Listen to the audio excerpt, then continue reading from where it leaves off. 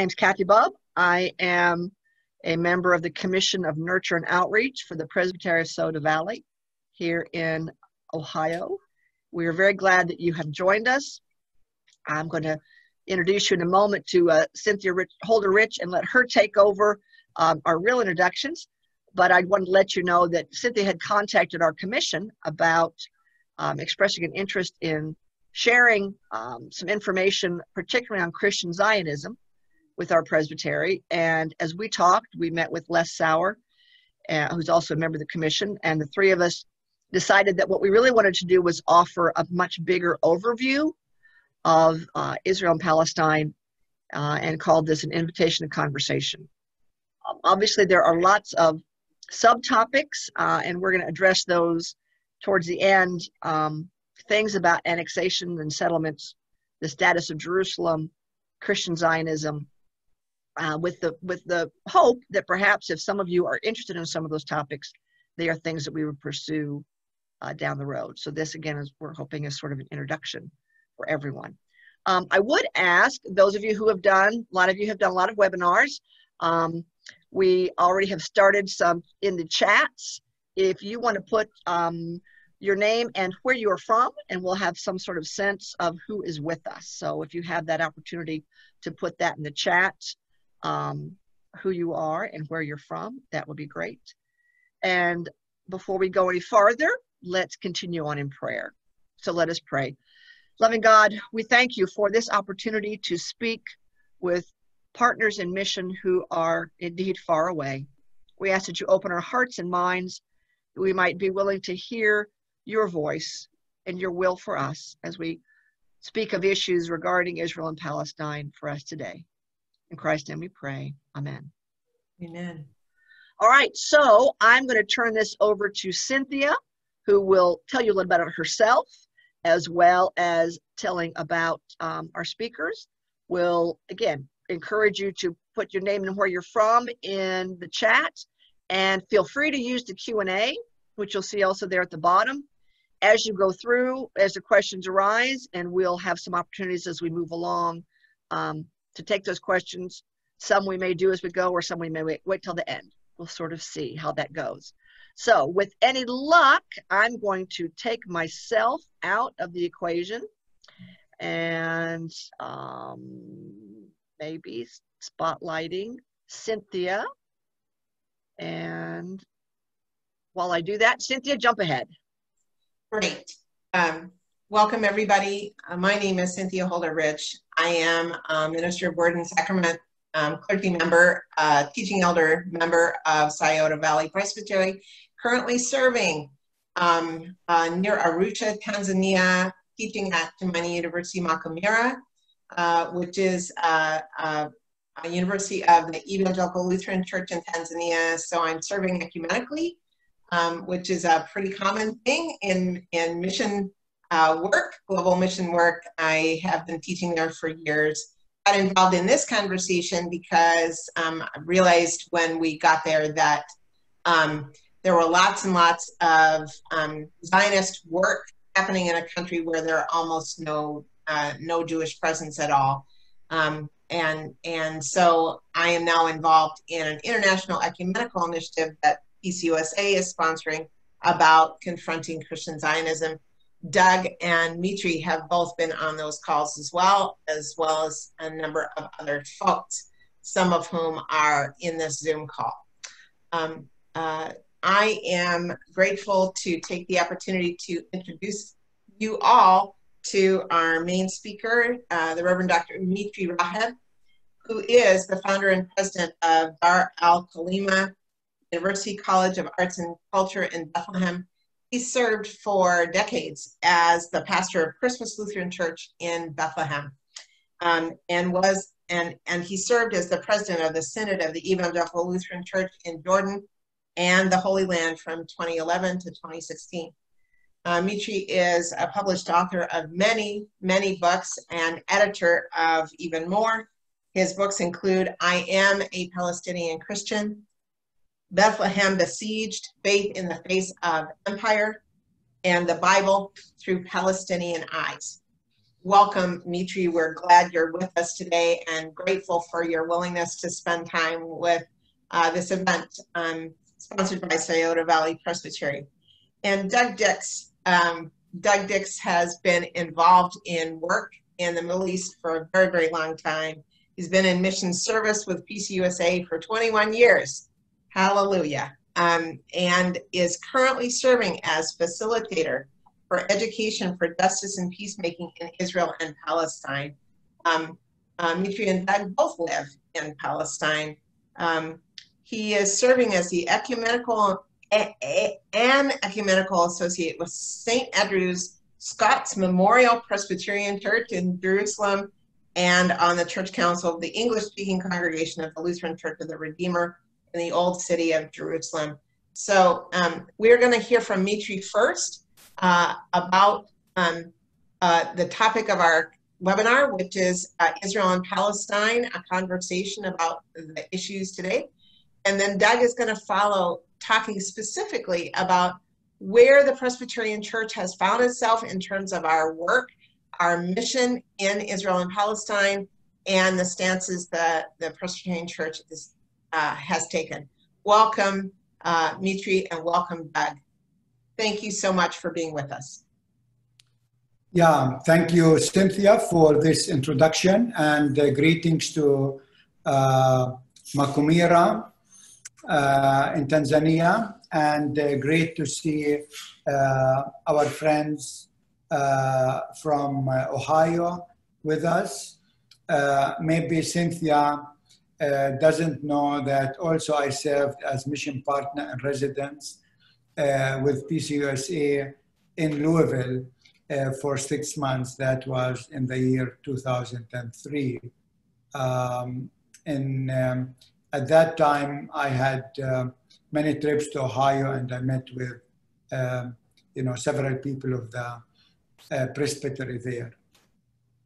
Um, tonight, our time, uh, morning your time, um, I would like to um, uh, tackle the issue of Israel-Palestine, uh, uh, starting with um, larger picture um, and then move closer to, to Israel-Palestine. Uh, because I don't think we can talk today about Israel Palestine without talking about what's happening uh, in the world. Uh, at large. Um, and so my first point, um, um, looking at the international scenery right now, if we look at what's happening in the world today, we have to realize that actually uh, the system that developed uh, in the aftermath of the Second World War uh, seems to be coming to an end. You know, I mean, the Second World War was devastating for Europe.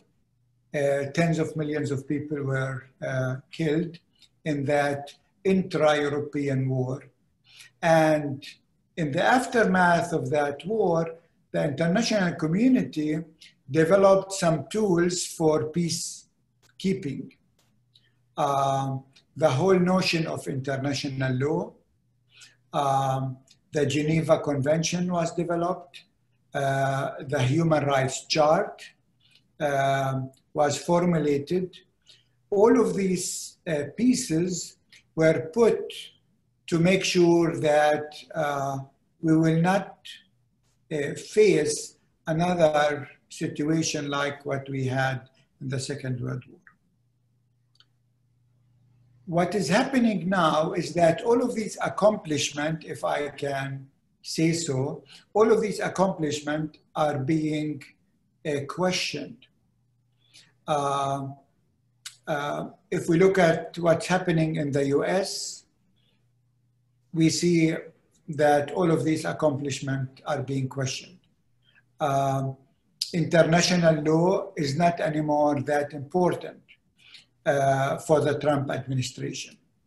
Um, the uh, American envoy to the Middle East, Greenblatt, said that international law is vague.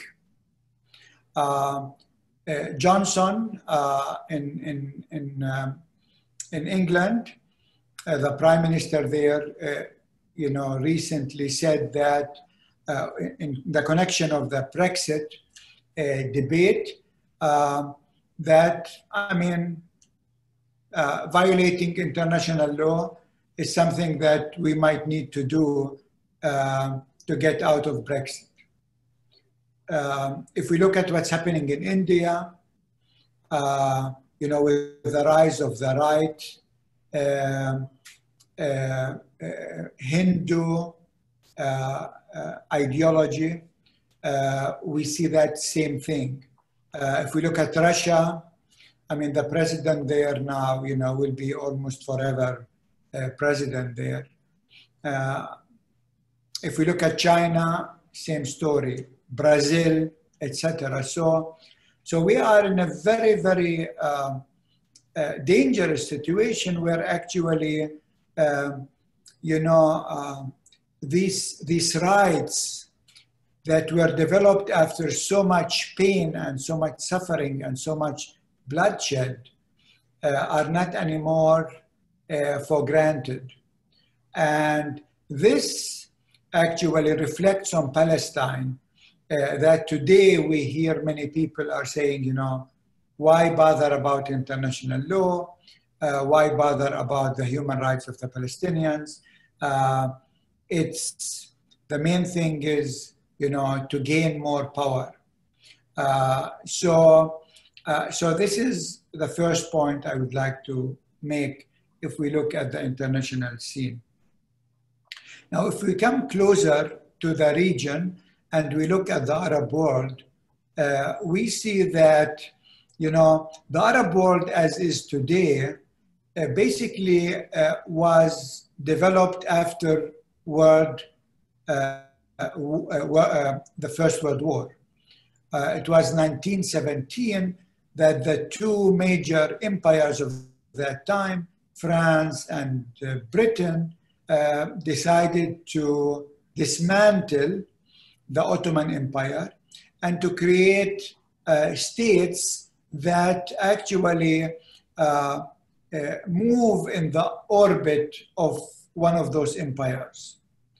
Uh, and so they created uh, Palestine. The idea with Palestine was to give it to the European Jews. They created Transjordan, they created Lebanon, uh, they created Syria, uh, and Iraq. All of these countries were created in the aftermath of the First World War. Uh, what we're experiencing now, actually, uh, after the so-called Arab Spring, is what Condoleezza Rice called uh, um, creative uh, disorder. and so we see that many of these countries are being dismantled and broken into pieces. So uh, Palestine now is broken into three, four pieces. You have Israel, you have Gaza, you have the West Bank, uh, and then you have the uh, Jewish state within the West Bank. So like four pieces almost. If you look at uh, Syria, again, it's uh, it's not anymore united as it used to be. Iraq, same thing, at least in three pieces. Uh, Lebanon is on the edge of collapse. Uh, Jordan is still holding together. Uh, uh and so, again, what was true for the last hundred years is not anymore true. Um, and again, this has reflection um, and implication uh, for Palestine uh, on many on many levels. First of all, uh, you know, the the heart of the region used to be the Mesopotamia, what we call Mesopotamia. It's the land between the Nile and the Euphrates.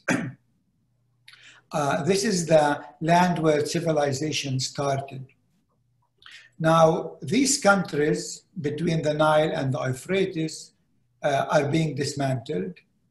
Uh, and so the land where civilization and actually where the three monotheistic religions started uh, right now uh, are so weak. And the, uh, the attention is now on the Gulf states because they have the petrodollar, at least they, they used to have it for a long time. Uh, uh, and uh, they have developed to be now uh, regional players after destroying Iraq in two wars uh, with the US, uh, after dismantling Syria, after the Arab Spring with ISIS, etc. and Lebanon now, we see after the blast actually that Lebanon is, I mean, is really in deep, deep trouble. Uh, so now you have basically Mesopotamia, the land between the two rivers, the Nile and the Euphrates, has become like a battleground for regional powers. Israel is a player, uh, Saudi Arabia is a player, Iran is a player, United Arab Emirates is a player, uh, and uh, the poor people in this region um, actually are, are suffering and are paying uh, the price of that. In that context, uh, the other important issue is uh, militarization. Um, so basically, our region uh, is spending per year uh, over $100 billion in uh, weapon, uh, I mean, buying weapons. Um, Saudi Arabia pays like almost $50 billion a year for weapons. United Arab Emirates, 15 billion, Israel, 15 billions. Although Israel gets much, much more because they get lots of these toys for free from the US.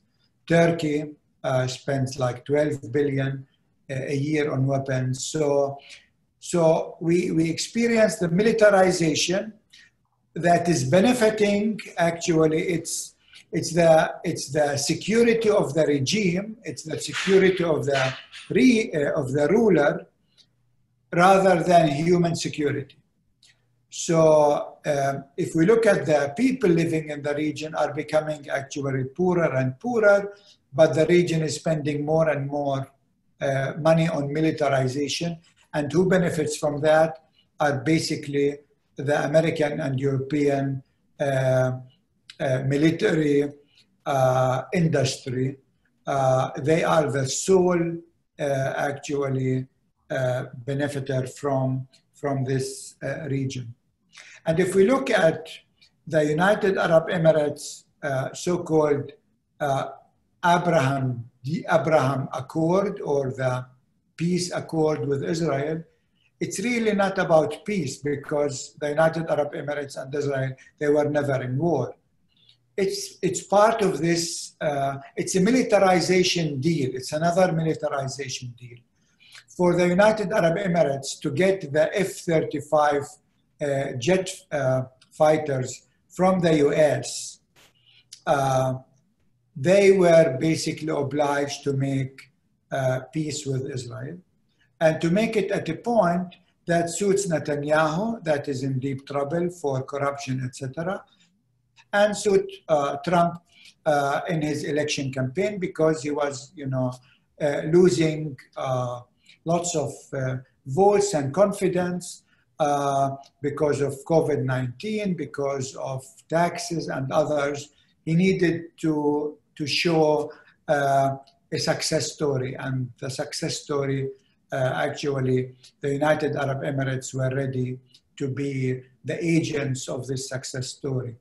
So, so we look at, at if we look at the Arab world right now, they are so uh, weak, and uh, their weakness actually has consequences for Palestine because this weakens the Palestinian position even more and more uh, and give Israel uh, what they want without paying any price.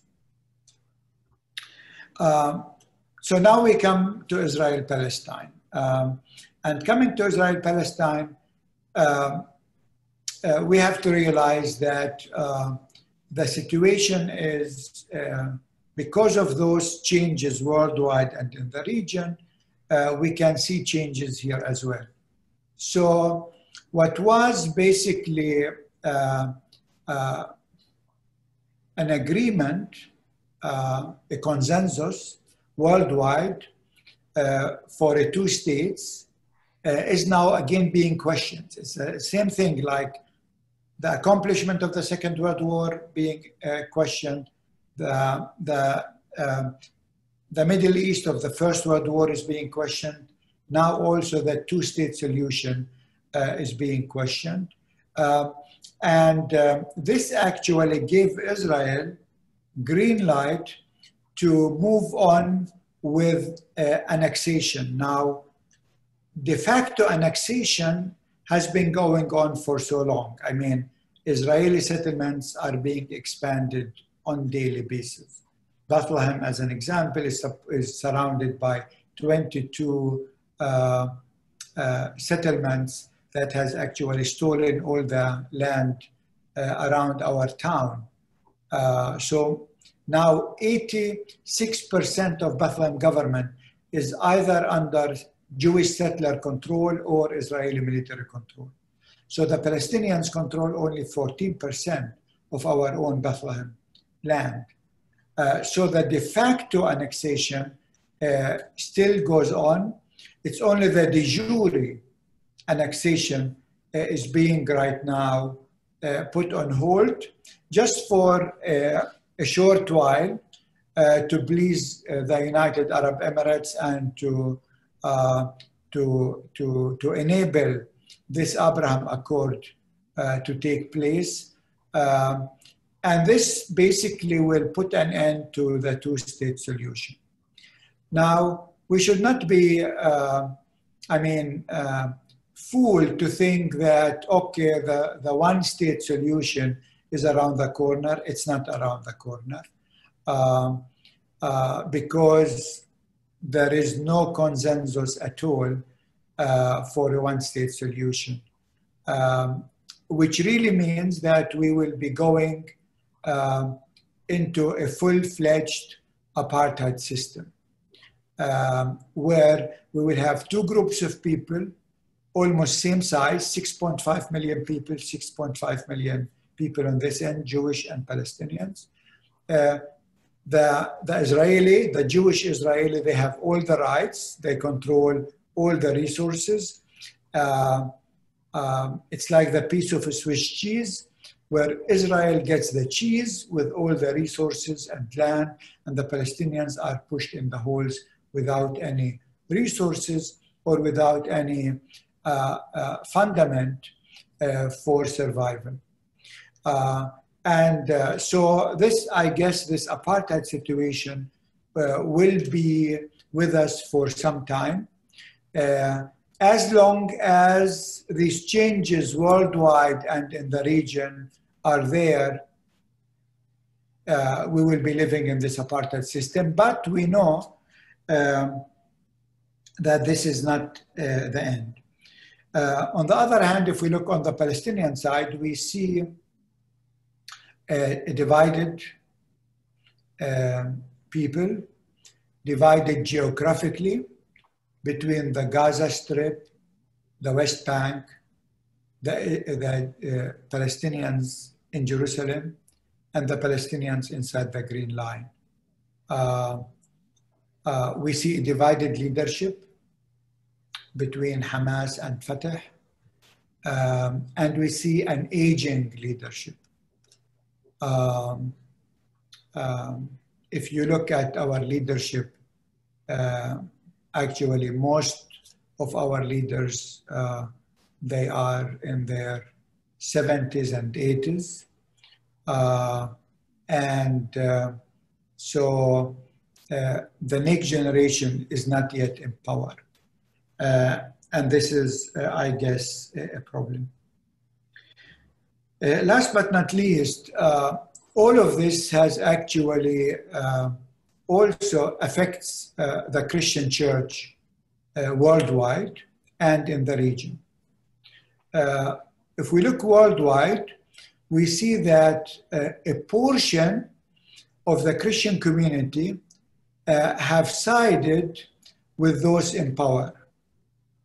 I mean, if we look today at President Trump, uh, his supporters are mainly white and Christians, uh, maybe more white than Christians, uh, but this is a very important phenomenon.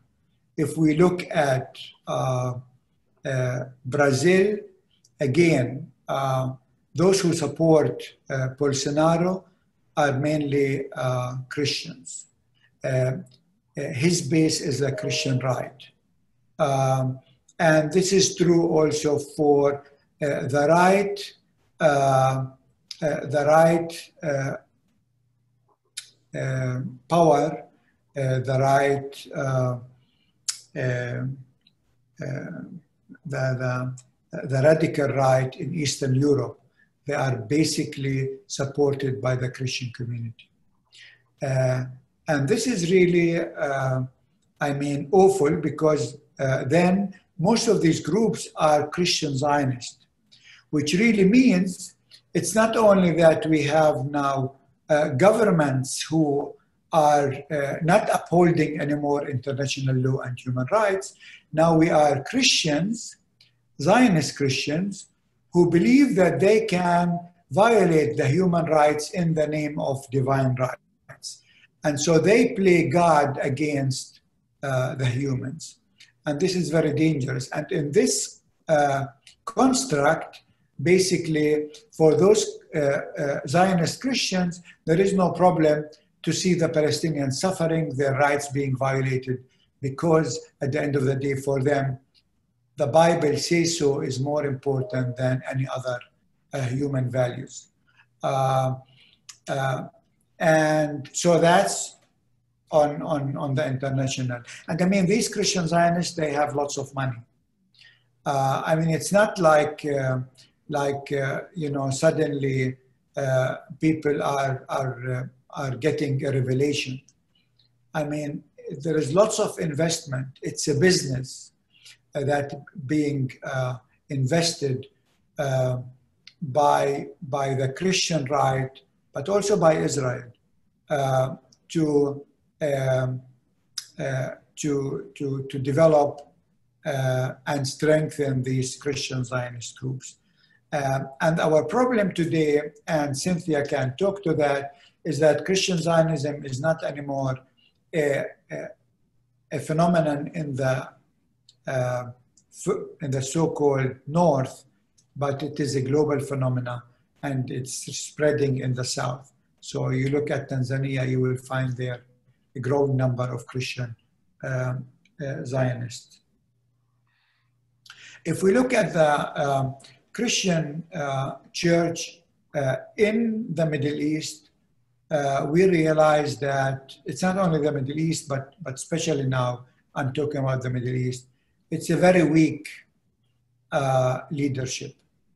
I would say there hasn't been such a weak leadership, Christian leadership, for a long, long time. Um, and uh, we see that, um, you know, with all what's going on, uh, many churches has lost their prophetic role. Um, um uh, and um, for me, this is very, very worrying. So if we look at all of this, this is, I mean, it's a very depressing uh, scenery uh, that we see here, but also worldwide. And yet, you know, I cannot leave you now just uh, depressed to go back uh, home and to, you know, to feel so depressed that it's a lost case. No, it's not a lost case um, for many reasons. One is um, there are still countries who care for international rights, uh, international law for human rights.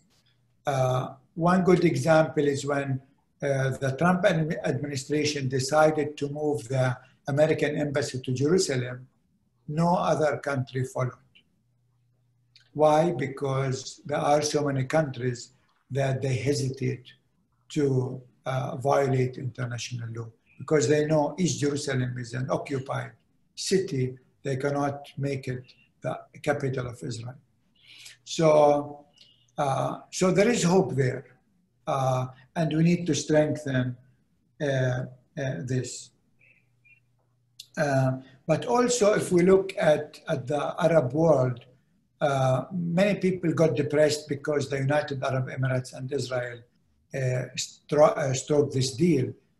But the thing is, this peace deal is a peace deal between uh, two establishment. The people on the ground, they never normalized relations with Israel as long as Israel continued to be an occupied uh, state. So, you know, uh, with, with Egypt, Israel had uh, a peace treaty since the late 70s. Uh, there is no connection whatsoever between Egyptian people and Israeli people. Um, with Jordan, uh, since over 20 years, uh, there is no, uh, 30 years even, there is no uh, connection, uh, no normalization between the people, uh, the Jordanian people and the Jewish Israeli people, no normalization. and the same is actually for all other countries. So we should not think that now uh, peace is coming. There will be no peace uh, if there is no uh, uh justice for the Palestinians. Because at the end of the day, uh, the, the, the, neighbors and the people who live within Israel and, and, and in, in, in proximity to Israel in the West Bank and Gaza are the Palestinians. Uh, this is the main cause. And without justice to the Palestinians, there will be no peace uh, and no normalization. Uh, it's not a lost case because uh, the Palestinian people are very resilient people. I mean, with all what's going on, you still have 6.5 million Palestinian people living uh, between the Jordan level and the Mediterranean in the so-called Holy Land uh, Israel will not be able to get rid of them. Uh, uh, I mean, we have endured so much suffering and we remained steadfast in our country. I mean, I'm speaking about myself. I could have left many, many years ago. I still get lots of invitations uh, to go teach abroad or, uh, or take a position abroad. Um, uh, very tempting, uh, but my wife and I are committed to staying here uh, and to continue uh, to uh, strengthen this resilience of our people. Because I mean, if there is no uh, if there is no solution inside, the only thing we can do now is to to stay resilient, to stay in the land. Uh, and this is important not only for us as Palestinians, but it's also important for us as Christians because uh, I believe that our, um, our uh, mission uh, uh, is needed now, uh, maybe more than ever. and I can see it through our work with Dar al Kalima University. once you empower the young people, uh, the young people can uh, actually be the beacon of hope. Uh, maybe the older generation have failed, but uh, we have hope in the, in the next generation. And uh, our mission at the university is to educate the next generation of creative leaders in Palestine. And we chose art actually as the tools for social transformation. And we see it works uh, it gives people not only resilience, but it gives them also tools to communicate their story in a very effective and very creative uh, way. But also it provides them with, uh, with, with income and livelihood so that they can sustain themselves, uh, themselves on this long journey. So to sum up, um, we are going through rough times. Uh, um, it's like uh, it's like uh, uh, we are right now in, in the desert. uh, with little water. Um, and so sustaining ourselves for the long journey is really important. Uh, but I'm confident that uh, the day will come when we will see the promised land. Maybe we will not see it ourselves, uh, but hopefully the next generation will see it and they will work towards it. So I would like to stop here and uh, uh, I'm sure Doug has lots of things to add also from his perspective. Uh, and then I look forward to taking a few questions. Thank you very much.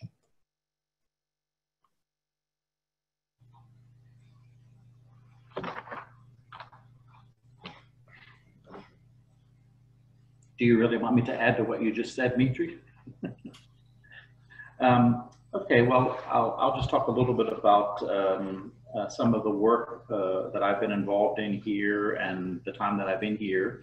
Um, I first came here in 1995 to work, though I had been to Palestine as early as 1982. But um, in 1995, um, there came the opportunity to come to Palestine and work, and the job description was something like um, uh, to um, get people down and off the bus, uh, to introduce them to Palestinians uh, and Israelis, um, and to help them to connect with issues related to social justice.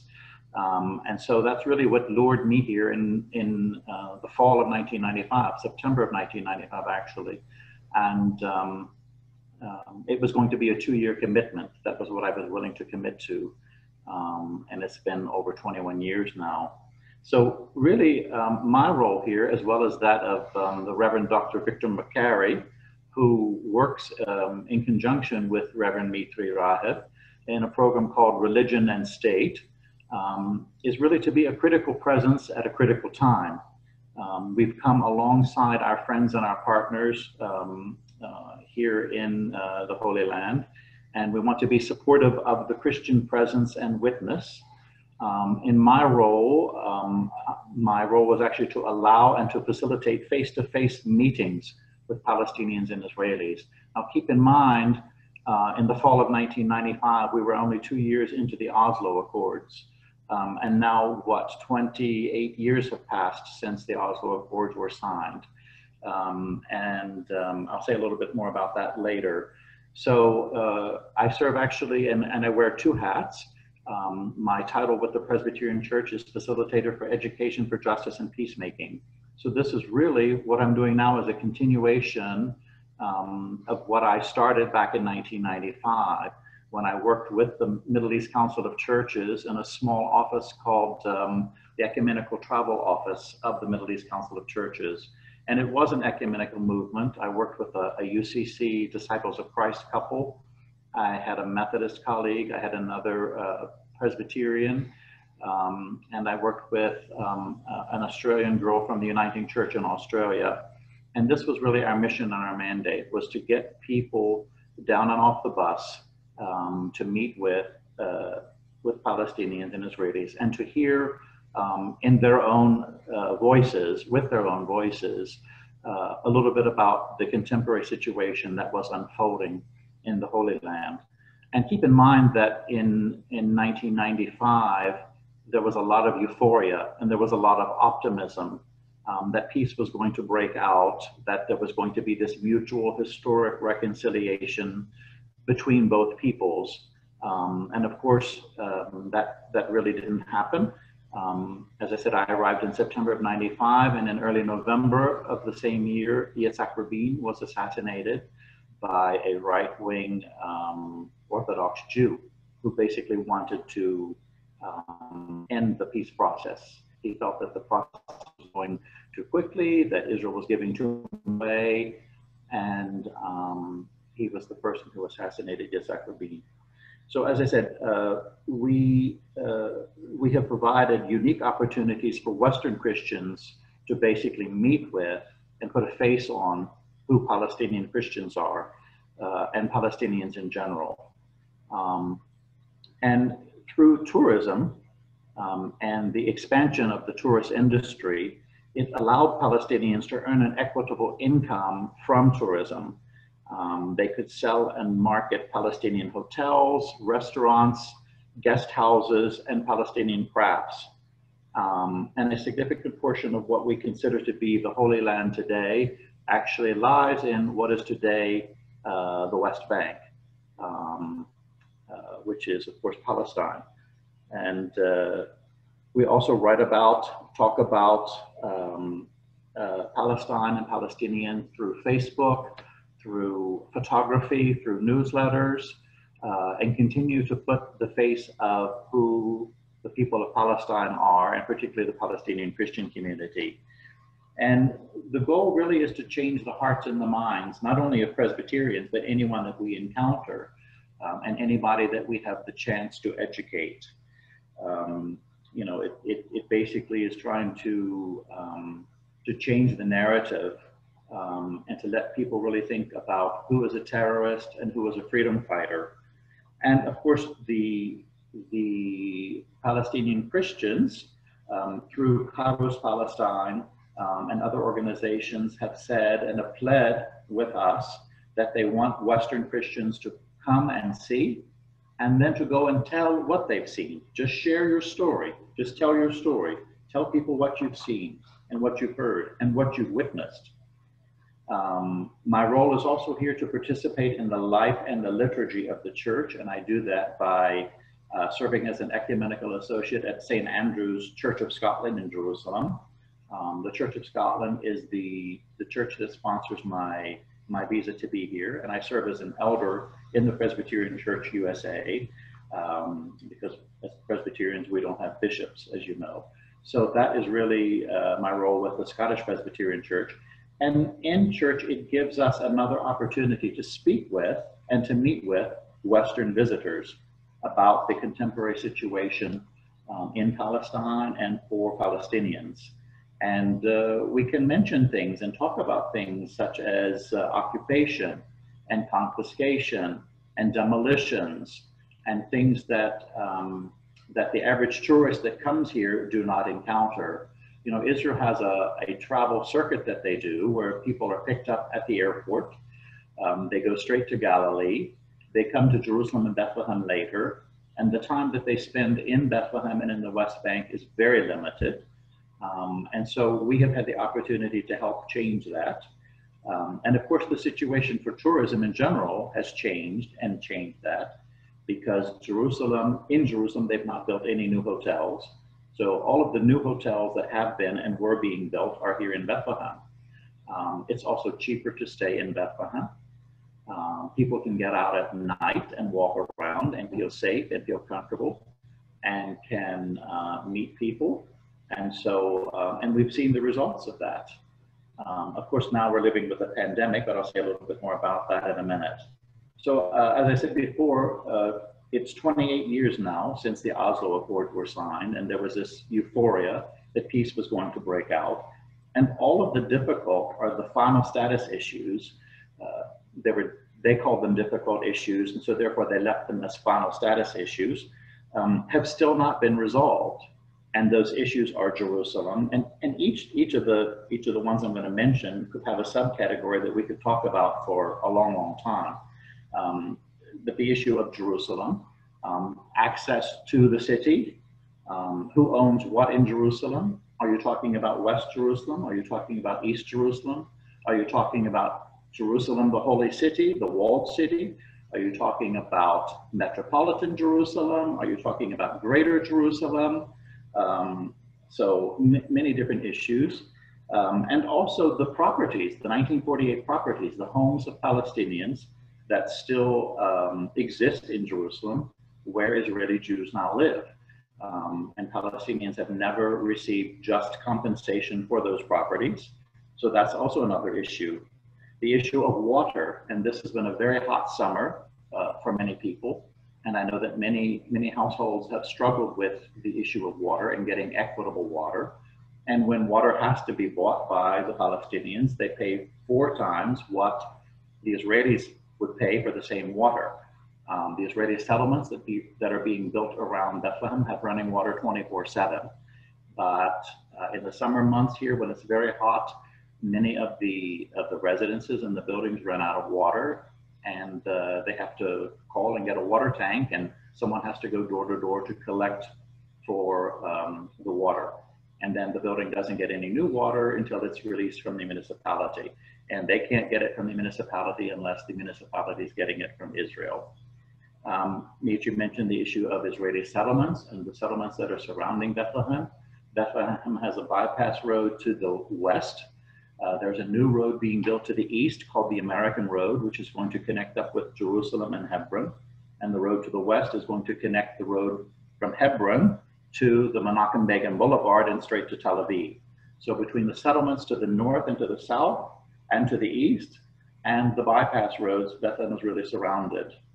Um, another issue is the Palestinian refugees, the refugees that fled in 1948, and at the time it was 750,000. Um, and now worldwide, the Palestinian population is about 5 million. They're not all refugees, but um, again, compensation for, um, for the refugees for what they lost in 1948. The final borders of the state of Israel, where are the final borders? When the late Yitzhak Rabin was asked, where are the borders of the state of Israel? He said, the borders of the state of Israel are where the Israeli army now stands. Uh, and at the time, they were ensconced in the Golan Heights, um, which is occupied territory from Syria. They were in Sinai, they were in Gaza, and in the West Bank. So um, the issue of final borders. And then there's a sixth final status issue, which is the, the condition of and the release of Palestinian political prisoners the prisoners that Israel says uh, they have Jewish or Israeli blood on their hands will never be released. Um, so that so again, all of these issues, these six issues, have never been resolved in the 28 years of, of uh, Oslo. Actually, as I said, we're in the post Oslo. So now we come to 2020 or 2020, and uh, we have a COVID 19 virus. Um, and at first, there was very good cooperation between um, Israel and the Palestinians in order to get the virus under control. And now there's none. There's been a there's been a complete cutoff of relations between the Palestinian Authority and Israel. And the number of cases in both Israel and the Palestinian Authority are rising. So how we're going to um, how how we and they are going to deal with that. But really, uh, it, it really comes down to an issue of justice. And so we work with justice-based organizations, such as Kairos Palestine, such as Dar al-Kalima, um, um, uh, Sabeel, uh, and with the, with the Christian presence here in the Holy Land to continue to talk about the issue of justice for the 6.5 million Palestinians that are in the land. And at the same time, we're also dealing with the phenomenon of Christian Zionism, which actually isn't a new phenomenon. It's been around for, for many years. But now you have a president in the White House who adheres to this uh, theology of Christian Zionism. And uh, there are many Christians who believe that the bloodier the conflict becomes in the Middle East, the closer we are to the end of times and therefore the coming of Christ, as if uh, mankind can somehow manipulate uh, Christ into uh, coming sooner than he wants to. So uh, it, it really is sort of a, an apocalyptic view of, of what's happening in the contemporary Middle East.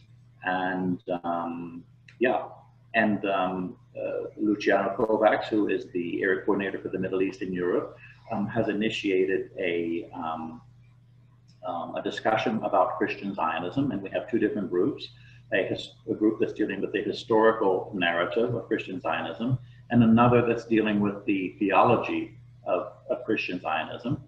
And um, unfortunately, we talk about Christian Zionists and we say them, but I know for a fact they exist in the Presbyterian Church. There are people that adhere to this theology, uh, and so we have to we have to come up with a way and find a way that we can we can address the phenomenon of Christian Zionism uh, by saying we need we need to be able to talk to people um, and speak a language that that they understand um, and uh, and um, and do it rather forcefully. Yeah, but but out of love.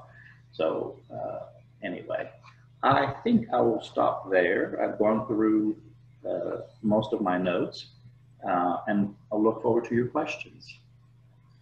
Thank you so much, Doug. Um, encourage you folks to put things into your Q and A.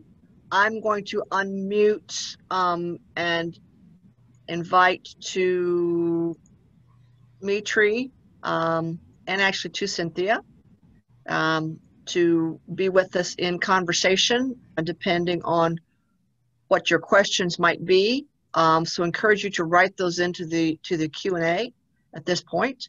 Um, one that uh, we can start with that really tags just what you were talking about, Doug. You mentioned the the number of of Christians who feel, as you said, the bloodier the conflict in the Middle East, the sooner Jesus will return. I, in, my perspective, there's an even larger number of, of Christians who just sort of assume the default position of Christians should be pro-Israel. It just that's what we're supposed to do. Uh, we're supposed to be pro-Israel. How? What can we say? Well, how do how do we begin to have the conversation with folks that they should even care? Um, isn't it true that you know that that God said you know blessed are those who bless Israel? So what do we what can we say? So um, any of the three of you that want to jump in on that, and then others encourage you to write your questions into the Q and A. Um, I'll let sure you I have- start since you were, yeah. Yeah, I'm not sure that I have a, a, a direct answer to what, what your, um, what your question is, but I, what I would like to say is that, that we are by and large to blame for this also, because, uh, the work that now should have been done, uh, 20, 30, 40 years ago. And, um, you know, we had seminary groups that were bringing students here and they were going to archaeological sites and they weren't meeting with Palestinian Christians and they weren't going to church on Sunday morning, uh, and they were visiting Masada instead. And so, when this phenomenon was sort of uh, being born, if you will, um, we were actively participating in it. Uh, and we were not um, providing the opportunities that we started doing in the mid 90s, uh, in the 60s and 70s. And I think we lost a good 20 years um, that we could have really gained from, from that. So, um, and there, of course, there are many different resources, and part of our working group is is coming up with um, much of what's been written, because a lot has been written. Unfortunately, more has been written in favor of uh, the, the theology of, of, of this end times uh, this end times theology by people such as uh, John Hagee and um, oh, who's the author of the late great Planet Earth? Hal Hal Lindsey, I think. Yeah. So um, we should have been confronting it then, and no one really took it seriously. And as I said, we we actively participated by not doing the education for our um, for our denomination. Okay, thanks. Um, Mitri, you have anything to, to add to that?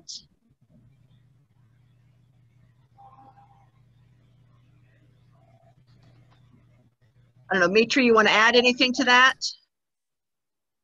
Um, I guess, uh, you know, the most important question is what do we understand uh, under Israel? Uh, uh, it's a blasphemy if you think that the Israel of the Bible is the state of Israel today. Uh, because you are, uh, you are mixing between faith and ideology, which is something that is very dangerous. in fact, the whole story of the Bible is the story of a small group of people, uh, irrespective of their uh, religious uh, background, who were actually surrounded by empires. And the whole Bible is just, you know, uh you know, the struggle with the question, where are you, God, when the empires keep trampling us? And this question today is asked by the Palestinians. So today, actually, the Palestinians of today, they live in a similar context like the Israelites of the Bible. So if you want to understand what the gospel is really about, you have to listen to the Palestinians, not to the Israeli who are empire by proxy. All right, thanks. Um, Cynthia, do you want to add? Um, you've done written edited books on Christian Zionism. Um, what what can we say to people who assume that Christians should be pro-Israel? What kind of response? What's a beginning point of conversation there? Uh, I'm trying to start my video here. There we go. Um, uh, as I said at the top, you know, when we moved to uh, Tanzania in 2017, we were just really stunned to see how many um, signs on businesses and and little uh, transport vans that people take around the city um, said, God bless Israel, pray for Israel. Um, Tanzania is a very poor country. Um, and it's surrounded by other poor countries um, where uh, the poverty around Tanzania impacts Tanzanians. Um, the, the conflict in Congo, the, the poverty in Sudan, um, uh, illness in other countries like Ebola has a huge impact on the life and health and welfare of people in Tanzania. Yet we were not seeing pray for Sudan or pray for Congo, uh, pray for the end of Ebola. We were seeing, and, and you can still see, pray for Israel. God bless Israel. Um, uh, so uh, the the reality is that um, uh, which uh, we have come to understand through research is that American organizations, largely American organizations, uh, have been very active in Africa um, because Africa has 54 votes at the United Nations. That's that's just where it is. Um, uh, and um, and there are many Christians in Africa. Uh, Africa is a place where Christianity is is growing. Um, uh, so um, uh, consequently, um, uh, Africa is seen as valuable um, uh, for what it can offer to other people, including Israel. And uh, Christian Zionist organizations are very involved and interested politically um, uh, in what's going on in Israel Palestine. It is it is really stunning to talk to Tanzanian pastors who have a clear sense that blessing Israel is what is necessary for Tanzania to prosper. Um, that Tanzania's economy will fail unless we um, uh, we all bless Israel, and that is a direct quote from Genesis 12:3a, just the first part of Genesis 12:3. Um, so it's uh, for for our work in Tanzania, it has been a very uh, interesting part of um, uh, facet of this work that that um, to be pro-Israel is just pro forma there. It's it's not even questioned. Um, I did want to ask, since I'm on right now, Mitri and Doug, can you speak more about um, what is being um, promoted here in the U.S. as peacemaking efforts? Part of of the new um, uh, Day of Peace that is being um, encouraged and promoted by the Trump administration, and particularly by Jared Kushner, the, the president's son-in-law, um, with the UAE, the United Arab Emirates, and Bahrain. And, and what does this mean um, in terms of how the Palestinians who are um, uh, related in some ways or, or who are Arab peoples and Arab people, how, how where does this move the ball or does it move the ball or how how do the Palestinians see these moves on the part of the US and the UAE and Bahrain? And I'm going to turn my video off. So one of you gentlemen can uh, see who I spotlight first. All right, Doug.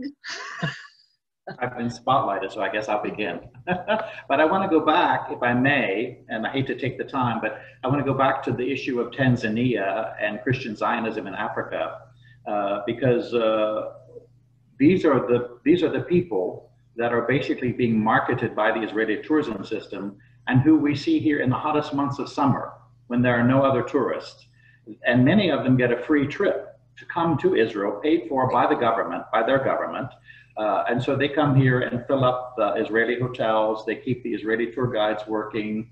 Um, they keep uh, Israeli bus drivers employed. Um, and I'm not going to talk about it now, but maybe we can talk about it later. But keep in mind now, uh, not only is tourism non-existent in Palestine, it's also non-existent in Israel. So it's having a huge economic impact uh, on both both economies. Um, regarding the situation with the UAE and Bahrain, I think Mitri touched upon this, and uh, if you've been following it, um, you you know more or less what Mitri said. It's a it's a business deal. It's a normalization, uh, and I keep. I mean, it, it, no one's talking and saying that it's a peace deal. They're saying it's a normalization between the two countries. So it's business. It means that the UAE is going to get those fighter jets eventually from the United States. It means it's going to open up markets that have never been opened up to Israel uh, in the, the, Far East.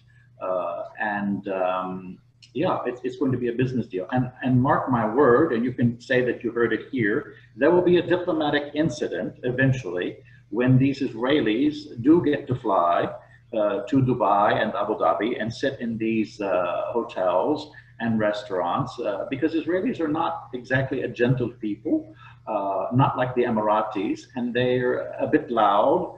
And um, it's, it, it's, it's going to be a diplomatic incident, mark my word, in, in terms of the way they behave. Uh, Emiratis are not going to come to Israel to shop. They have some of the best shopping in the world.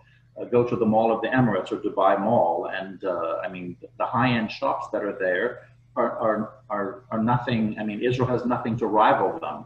So they're not coming to shop. Some of them may come uh, to pray at Al-Aqsa, but the, the population of the Emirates, and I'm talking about the indigenous population, is relatively small um, compared with the, the number of Israelis that probably would love to get on a, a plane now and be able to travel. But keep in mind that they're, they're just as much uh, earthbound as the people in Gaza are. They're not they're not able to travel. So um, yeah, I, I really see it as a, it's opening up markets.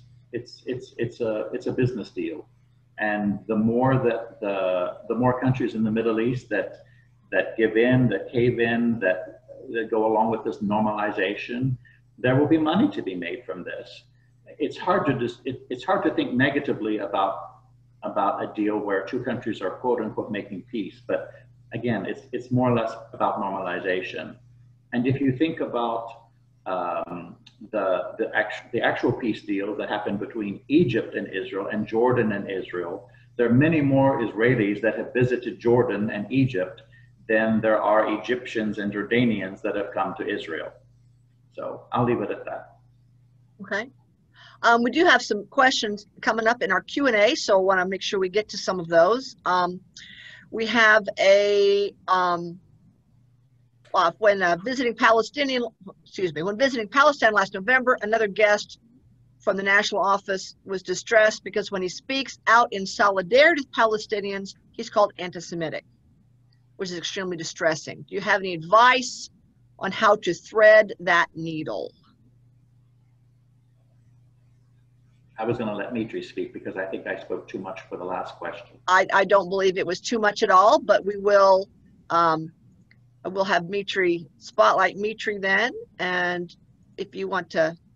Um, well, and because it was an ELCA colleague, I think maybe Mitri can address. There you go. So Mitri, how do we handle when we're um, referred to as anti-Semitic when we speak pro-Palestinian.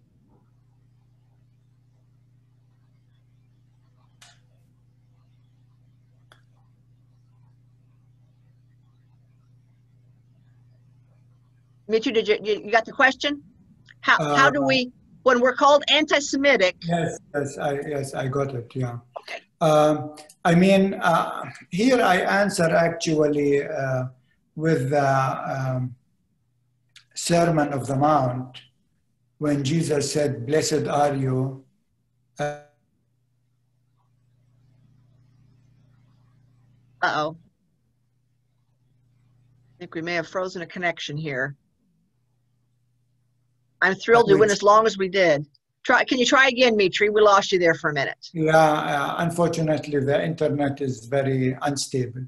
Yes. Um, so what I was saying is that I would answer with the uh, Sermon on the Mount when Jesus said, Blessed are you uh, if they um, um, say false things against you. Um, Uh, and but this is a tactic that Israel is using to silence people who are uh, who have a prophetic voice. Uh, and I mean, you know, if you read the whole Bible, uh, prophets had always tough times. I mean, they were, weren't like the people who people just like loved them. They were in. They had to face lots of, um, uh, I mean. Um, uh, accusations, etc. Uh, uh, and so I would say people should not be deterred through this. they should continue as long as they know, you know, what they are telling about is really the truth, uh, that their compass is justice, not ideology, uh, and that, uh, you know, fighting for the rights of the Palestinians uh, is at the end of the day uh, uh, good for Israel long term because occupation is not good, uh, not only not good for the Palestinians, but also it's not good for the Israelis. thanks. Um, Doug, do you want to add anything to that? Well, I would just say, um, and I and I have been accused of this at certain times, but not much. Um, but I can I can honestly say that working with both Palestinians and Israelis, I could probably introduce you to uh, Israelis who are being called anti-Semitic or traitors by their own people. So uh, these are these are titles that are being thrown on people. And again, the issue is basically to try and silence them. And anybody who knows that their that their facts and their statistics speak for themselves uh, has nothing to fear. So I, I don't worry about that too much. All right, thanks. A um, couple of the questions. Um, is there, um, what are your thoughts, again, Mitri and, and Doug, on the BDS, boycott, divestment, and sanctions movement um, of the PCUSA? It's controversial to a lot of Presbyterians, but can you can you speak speak briefly to that? Uh, um, I can maybe start uh, just okay. saying that uh, uh, that, um, you know, when you say controversial, um, just one second, okay. Uh, when you say controversial, uh, people think this is negative. Uh, but for me, controver- Jesus was controversial. Uh, um, and so uh, one should not fear of being controversial. And um, knowing the PCUSA for so long, the PCUSA was uh, boycotting uh, sweat t-shirts uh, already 30, 40 years ago. Uh, nobody spoke anything against it.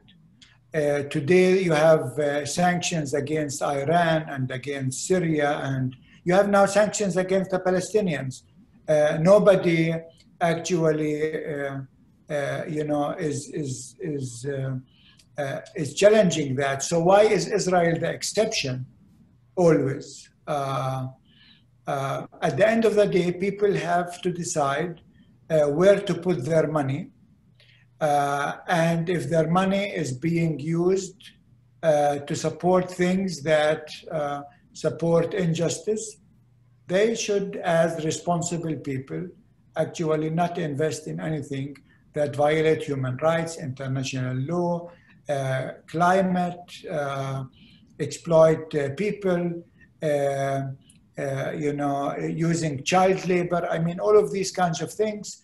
Uh, we always tell people to actually to to put their money where their mouth is, and so this is what really BDS is all about. Great, thank you. Doug, anything to add to that? Yeah, uh, I, there are several things that come to mind when you talk about the Presbyterians and BDS. First of all, um, I remember when that happened, and I don't think that the Presbyterians did a very good job of telling their own story. Uh, as I recall, that was a really controversial year. We had some layoffs. Uh, we lost a lot of people in the Presbyterian news service. And so we basically allowed the international press to tell our story, to tell what we did, rather than um, and we had weak leadership at the top too. I'll say that. Uh, and so people were backing down and shying away from the controversy and the criticism around the issue. Um, and when we finally did vote uh, to divest, we should have told what we did and why.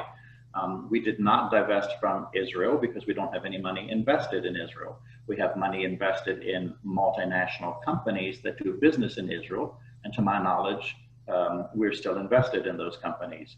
And the money or the, the companies from which we which we voted to divest from, which were Caterpillar, Motorola, and Hewlett Packard, to my knowledge, that, that stock still has not been uh, sold.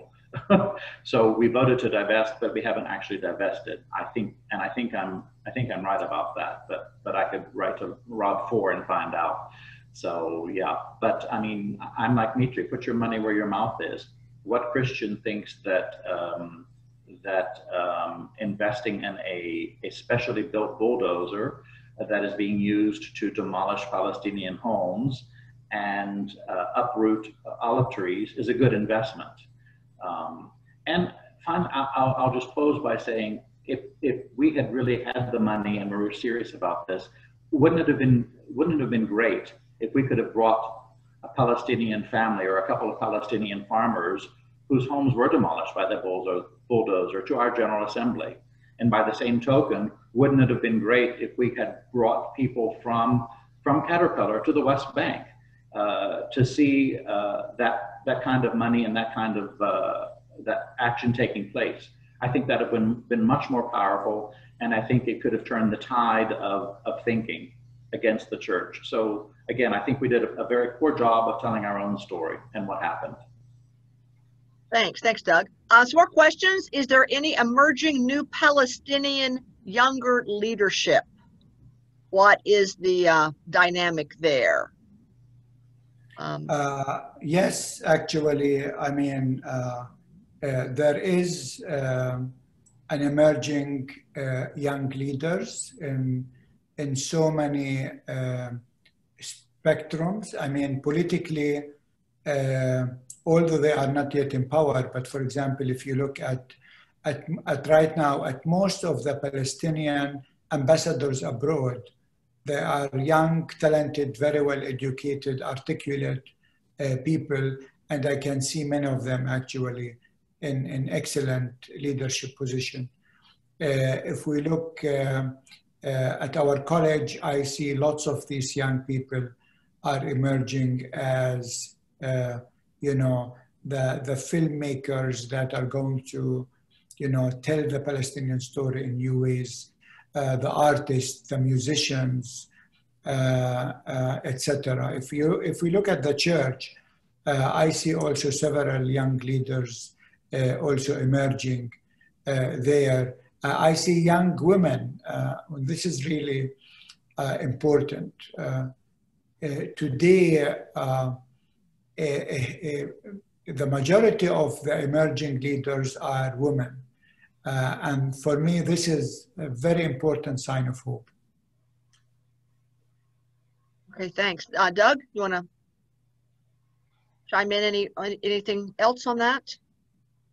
No, I think uh, Mitri said it all, um, uh, and and he said it in his talk when he talked about the um, the um, the aging population of the of the Palestinian leadership. So um, I would just echo that and say that we need some of these some of the elderly to step aside uh, and give opportunity to uh, some of the younger people who um, are very well educated, who are very capable, um, and uh, yeah, would be and, and are very articulate about the about the Palestinian situation.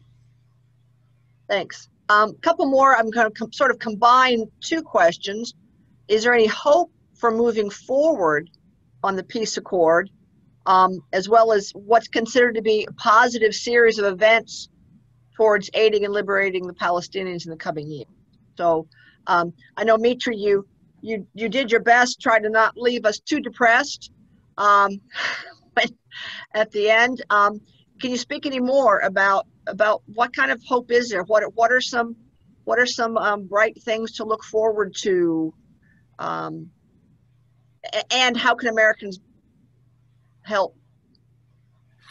Um, I, I, think, I mean, let me take the, the, the, the later part. How can American help? Because uh, I think this is an important question. Um, I like to talk about the five P's, uh, what Americans can do. Um, the first P you can get, sorry, it's prayers. Um, it's really, we need your prayers. It's important to pray for uh, justice and peace in this region. Uh, whenever I go to a Presbyterian church and, you know, usually they, they pray for uh, Israel, Palestine when I'm there. Uh, I listen to how they pray because that tells me how aware they are. Um, and so, um, you know, when, when the disciples asked Jesus, teach us to pray, uh, we need to teach uh, congregations how really to pray for justice. Do they pray for justice or do they pray for peace? Uh, do they pray for Palestine or do they pray only for Israel? Do they pray only for the Christians or do they pray for everyone? So, I mean, these are things that we need to learn. So, P, prayers. The second are pilgrimages, and I think Doug talked about a lot about it. We need more groups to come to know the situation, and uh, we need now groups to come uh, as soon as the, we are over with the COVID-19, because you know Bethlehem uh, uh economy depends to 70% on tourism. There are 33,000 people in Bethlehem living on tourism, and they have no income now for like uh, six months. And unfortunately, tourism will not resume uh, even in 2021. So, so they will have no income. And I see today actually one of the major uh, souvenir shops in Bethlehem. Uh, um, he brought uh, uh, fruits and vegetables to sell there as protest to what's happening because you know there is no income and there is no uh, light at the end of the tunnel for the tourism industry. So we need groups to come as soon as possible. The third is political advocacy. Uh, we need your, your, your voice. Uh, we need your vote. Um, your representatives should know that Palestine matters. Um, your representatives should, should know that justice matters, that it is important for you. Uh, the fourth P uh, are projects. Um, what projects can you support? Can you support a, a scholarship for students? Can you support uh, uh, planting trees? Uh, can you, I mean, we need very concrete projects because remember, the US invests uh, right now $3.8 billion a year in Israel. Um, and uh, the Trump administration had, has cut all aid to Palestine. I mean, we lost two projects uh, that uh, we were supposed to get through uh, American uh, schools and hospitals abroad. we were supposed to get a new educational facilities and upgrade the library and uh, President Trump said no, no funds should go to Palestine. So we need projects uh, to be invested there. And last but not least, products. Uh, right now, when many uh, actually souvenir shops cannot, they don't have tourists to come, uh, people can shop online. And actually, uh, we have on a, website where people can also purchase things that our students produce jewelry, glass, ceramic, etc. Uh, now we have actually our our hit right now uh, are masks uh, with Palestinian embroidery. It's the idea that one of our innovative students, female students, came up with. Uh, and now, you know, you see people running around with masks with Palestinian embroidery on them. Again, another another way to tell our story. Can you put that, uh, the website for that online products, can you put that in the chat? Yeah. So folks can have that if that's something they would mm -hmm. like to look at. Um, great. Um, another question, uh, I think Doug is good for this one, is the PCUSA Israel Palestine Mission Network still active? And what are congregations who are involved, I'm asking, what, what congregations are involved and still in touch with you or, or what, what more do we need to know about that? Yes, we have a very vibrant and a very active uh, Israel Palestine Mission Network. They're still very active. Uh, as a matter of fact, they're planning for their annual meeting, which will be in, I think, November. Um, and uh, yeah, and you know, of course, they were the ones who who put out um, what four different resources uh, to educate Presbyterians about Palestine. The first one was called Steadfast Hope. Sorry, the first one was called The Cradle of Our Faith. The second publication was called Steadfast Hope. The third one was Zionism Unsettled. And the fourth one was Why Palestine Matters, the struggle to end colonialism. So um, yeah, they've been very active, and and some of the other denominations have actually taken those publications um, and used them for their own denominations. Um, so yes, they're still very active. Um, I I hear from, uh, of course, the network, people that are part of the network, and um, yeah, individuals that are are are um, are involved in the network. Um, they've supported me, and um, yes, I'm, I'm in, I'm in regular touch with a lot of people from the network. Great, thank you so much. Um, we've got a reminder of some of the things that we had also in the chat. Uh, Katie Kinnison made a, a, a recommendation of uh, Mitri's books, as well as uh, Walter Brueggemann's book, Chosen, Reading the Bible Amid the Israeli-Palestinian Conflict. Uh, and so I would commend um, Brueggemann's books as well as Mitri's books um, to you. And um, a, a, couple other comments, uh, one from a, a, Jewish American person who's listening.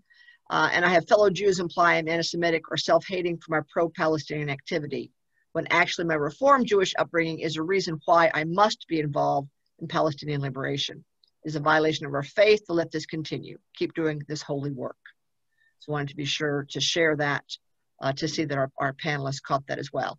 Um, so as we finish up, uh, do want to be mindful of everyone's time. Um, any final words um, for Doug or Mitri? Um, the other thing, while they are finishing up, I would invite um, our, our attendees to put in the uh, in the chat. Probably is the easiest. Um, we've mentioned a couple of times other other conversations to have um, annexation and settlements, uh, Jerusalem, Christian Zionism, uh, and then we had the list of, of um, water equity, uh, final borders. If there are any of those topics that are particularly appealing to you, uh, if you put them in the chat, and we would be, you know, interested in organizing other conversations about some of these things. So um, anyway, as you're finishing that up, then um, I'll let each of you just finish with a statement or two. Um, and Doug, since you're in the spotlight, I'll let you go first. Lucky me.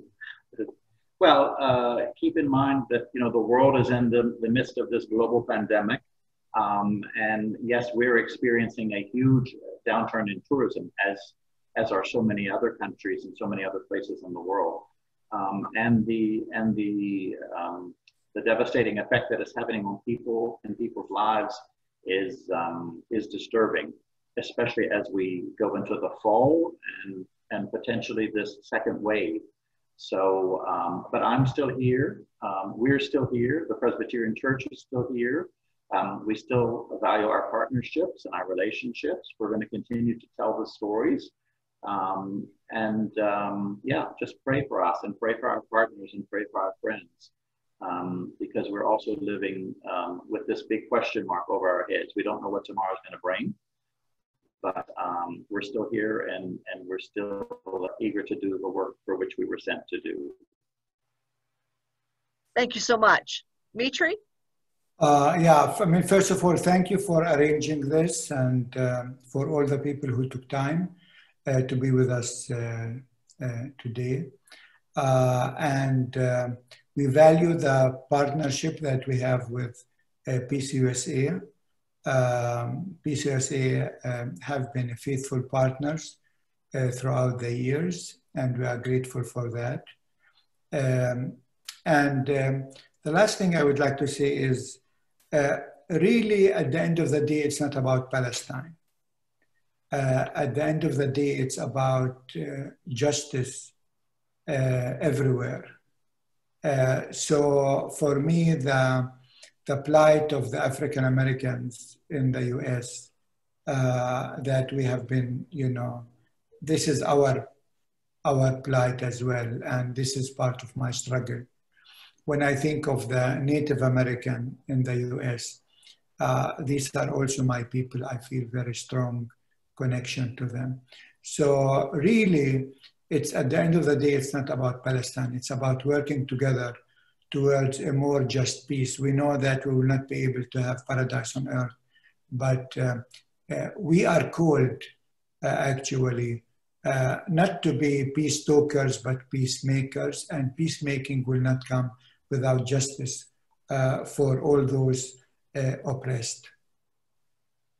Thank you. Um, Cynthia, I don't know if you have any final words you'd like to um, to say um, as we finish up our time here. Again, uh, for those, it, it put in the chat if there's things you'd like to know more about or have further conversations on. Um, I just would say thank you on behalf of the planning committee. Thank you very much. Um, our friends uh, Mitri and uh, Doug for your time, uh, for coming to us uh, in the evening after your working day, uh, which uh, your working days spread into the evening um, when we do these kinds of things. So I'm very grateful. And um, and we are very grateful, and we're grateful for all those who have taken the time to take part in this today. Um, one one side effect of the pandemic is that we can do these kinds of things without getting on an airplane and and uh, going a long distance. So we're very very grateful, and um, and we will continue to hold you in prayer. all right. Thank you. Yes, again, thank you all very much. Thank you, Cynthia, um, as well for getting us started on this, Dimitri and Doug. And thanks to all of you for your participation and um, your good questions and all of the, the thoughtful conversation that we've had. We really appreciate it. So thank you so much um, and have a good sleep for Doug and Mitri. The rest of us still have half a day to go. So um, it was lovely to see everyone and thank you again for being here. Thank you.